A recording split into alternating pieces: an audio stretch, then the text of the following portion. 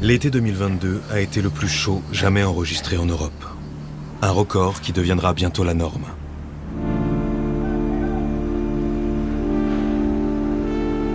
Dans certains endroits du globe, les travailleurs sont déjà confrontés à des températures humides qui frôlent les limites du corps humain.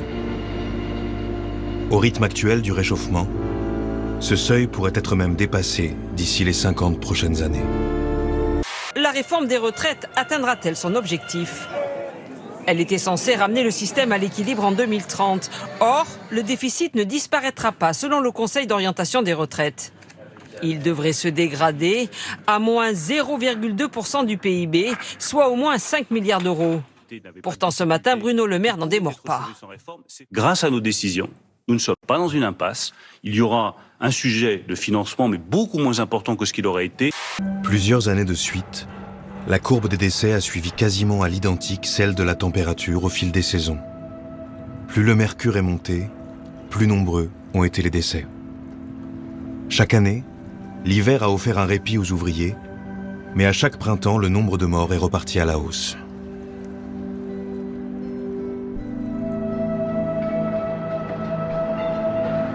Mais, non, mais que les gens qui ne, veulent pas, qui ne veulent pas prendre l'avion ne prennent pas l'avion. Et ceux qui ont envie de prendre l'avion comme moi prennent l'avion parce que j'ai encore envie d'aller à New York, par exemple. Voilà. Voilà, parce que ça fait longtemps que je suis pas noir. J'ai envie d'aller en Israël, j'ai envie d'aller en Terre Sainte. J'ai un jour, je veux pas mourir avant d'avoir. Tu iras à pied en pèlerinage en Terre Sainte. Je veux voir la avant de mourir. Je veux voir le Machu Picchu avant de mourir. mais est-ce que le Machu Picchu a envie de te voir? Retiens bien cette leçon. Assimile. Assimile, oui. Une course contre la montre qui rend les livreurs sourds aux alertes de leur corps. Cet employé du PS en Arizona, filmé par la caméra de surveillance d'un client, montre tous les signes d'un coup de chaud. Bien que chancelant, il n'oublie pas de marquer son passage avant de repartir à son véhicule.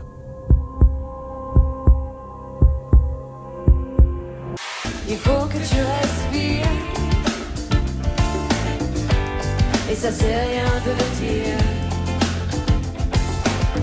Euh, ensuite, moi, je trouve ça d'un niveau d'incivilité, c'est-à-dire que t'en as rien à faire des autres. Oui. C'est non, non, non, c'est vous. J'ai rien à foutre. J'en ai rien à foutre de vos discours qui sont pas du tout cohérents. C'est tout. Vous, blo vous, bloquez les, vous bloquez les tunnels, il y aura des trains. Le jour où vous serez cohérent, je, je, commencerai à réfléchir. Taisez-vous et laissez parler qu'on va pas réouvrir. Le, le jour où vous laisserez, vous laisserez des, maraîchers travailler sur des nouvelles technologies. Vous me connaissez un peu, Pascal. Vous devinez ce que je vais faire euh, dans euh, les jours qui arrivent. Voilà. Je ne pourrais pas rester dans ce journal. C'est impossible. Voilà. Et ce sera, j'imagine, pour vous, euh, une décision difficile à prendre. Compliqué. France Inter euh, et peut-être à la gauche que CNews était à droite. Voilà. Bah, on est tous extrêmement attachés à ce journal. On lui a donné euh, beaucoup de choses, effectivement, on a fait énormément de rencontres avec les lecteurs. Les lecteurs nous ont fait confiance. Je pense que vous connaissez ça parce qu'on entend beaucoup ça sur CNews aussi. On croise des lecteurs qui nous remercient d'exister tout simplement, en fait, de, de, de, de, les laisser respirer, de dire autre chose. Et c'est précisément sur cette autre chose que nous ne sommes pas d'accord avec certains euh, dans la direction. Et c'est bien au-dessus de la direction aujourd'hui. Hein. Aujourd'hui, c'est Étude Dual Denis qui prend les rênes et, et c'est vraiment pas lui mon sujet. Sur le perron, une femme de 73 ans et sa petite fille de 7 ans.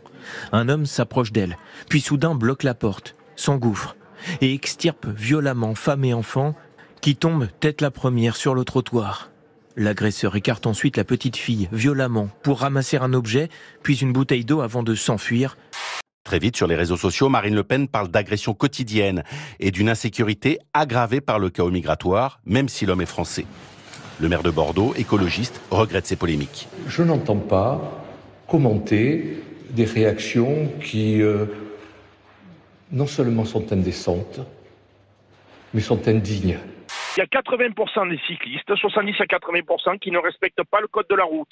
Où qui ça brûlent Au les Lavandou stops. Euh, sur, au- Moi, où je tourne en général, sur un rayon de 30-40 km, qui brûlent les stops, qui brûlent les feux rouges, qui prennent les sens interdits dans n'importe quel sens. La personne qui a autorisé la loi selon laquelle les cyclistes doivent prendre les sens interdits, on devrait la pendre à un mur. Mais c'est un scandale. Le, Non, le code de la route, non. il doit être universel pour tout le monde. Près d'un an avant les JO de Paris, des perquisitions ont été menées aujourd'hui au siège du comité d'organisation et sur plusieurs sites. Des enquêtes préliminaires ont en effet été ouvertes pour des prises illégales d'intérêt, détournement de fonds publics et favoritisme. Cela concerne l'attribution de marchés pour la réalisation de travaux.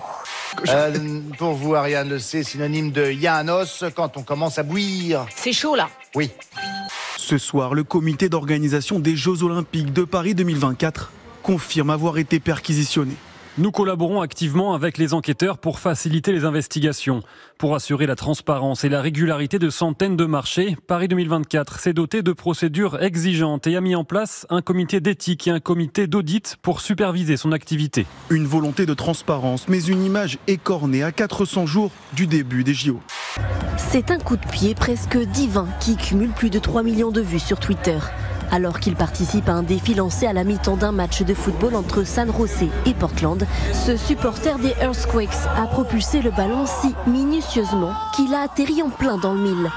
Un geste exceptionnel depuis la surface de réparation à plus de 40 mètres de la cible. Alors les internautes espèrent pour lui le gros lot, un million de dollars, un abonnement exclusif au club ou même un recrutement dans l'équipe.